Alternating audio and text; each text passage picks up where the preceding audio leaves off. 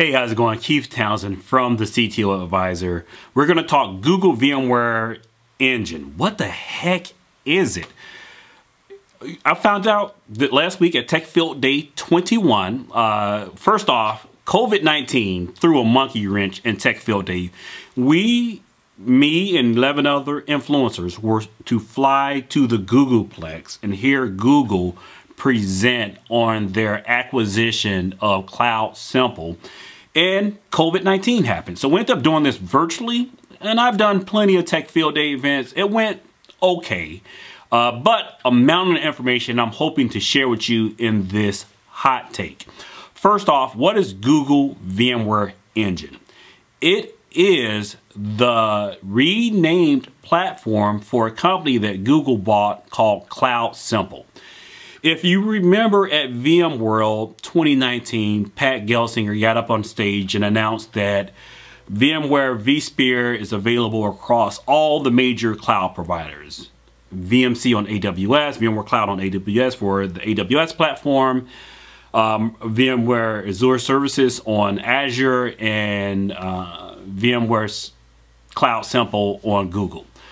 Google went and bought the farm when it comes to Cloud Simple. Cloud Simple provided a solution inside of v, uh, inside of Azure for a vSphere solution. There's a competing solution, but I think the the most well-known solution is the Cloud Simple solution, and they had started to work with Google to release a version based off of VMware Cloud Foundation within Google Google Compute platform so what's difference between what's the difference between VCF and Cloud Simple and VMware Cloud on AWS? Well, we learned all of this at TechField Day 21. Well, indirectly. They didn't talk about VMC on AWS by name, but we talked about competitive solutions. And the competitive solution is VMC on AWS. First off, VMC on AWS is VMware's premier vSphere partner for public cloud. They get the bits first, they get all the engineering resources. get an example of the, the might of those engineering resources.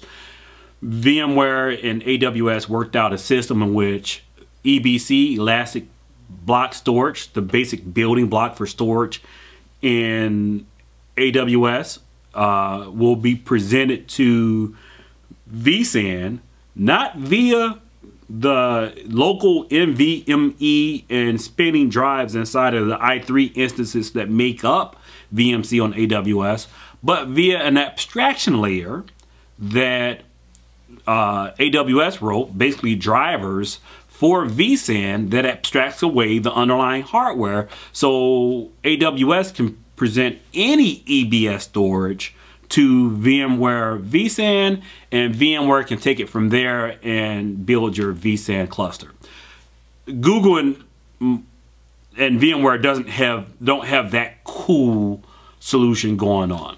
So why should you even consider Google VMware Engine, which is really hard to say, by the way, GVE. We'll just say GVE. Why should you consider GVE over VMC on AWS, if you like those acronyms. Uh, it is a different solution, actually. Uh, GVE is taking the VMware Cloud Foundation base, which allows any cloud provider, whether it's one of the major cloud providers or IBM, Oracle, or any VMware vCloud partner, you can take the, the basic building block blocks of the VMware Cloud, which includes uh, vRealize, VMware vSphere, NSX, T, and uh, of course vSAN. You can take all those components and build a cloud-based vSphere service and offer vSphere up to customers. You don't have to be a mega cloud provider. You can be the CTO advisor who just opened the data center. You want to provide VMware as a service. I can take this VCF platform and use that to resell services. But this is Google and that's not all they're going to do. They're going to do it at Google scale.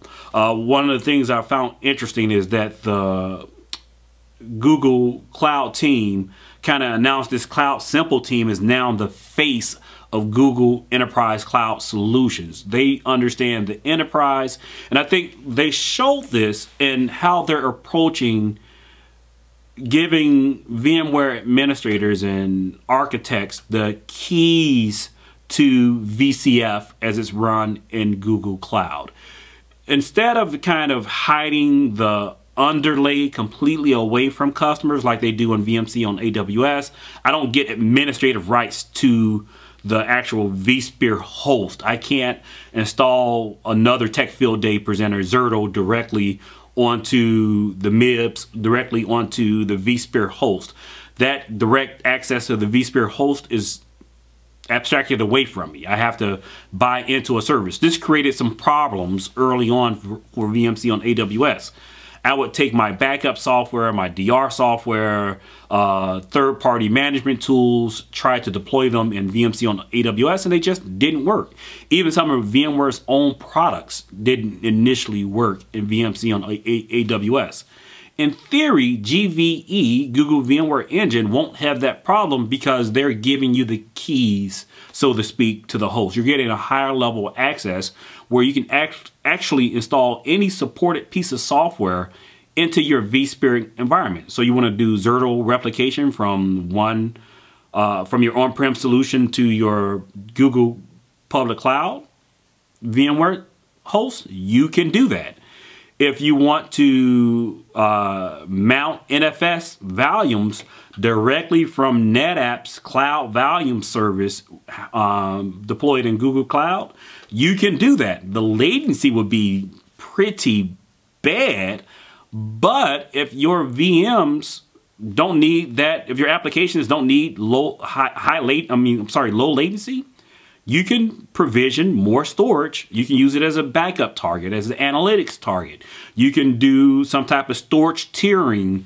You can build solutions that you want to bare metal basically with VCF and GVE that you can't necessarily do in VMC on AWS. It is a horses for courses piece. What are some of the other disadvantages to this approach. I think one of the biggest ones is the lack of integration, this engineering relationship. The AWS console and the VMware on AWS solution is starting to become more and more integrated. I can do things from my AWS console that directly impact my uh, VMC on AWS environment. What's the counter argument for Google solution? Well, there's Anthos. So